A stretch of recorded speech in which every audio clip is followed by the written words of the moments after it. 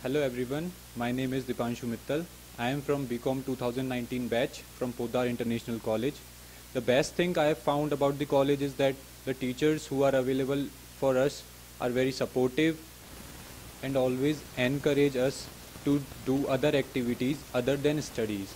Sometimes we have debates, group discussions.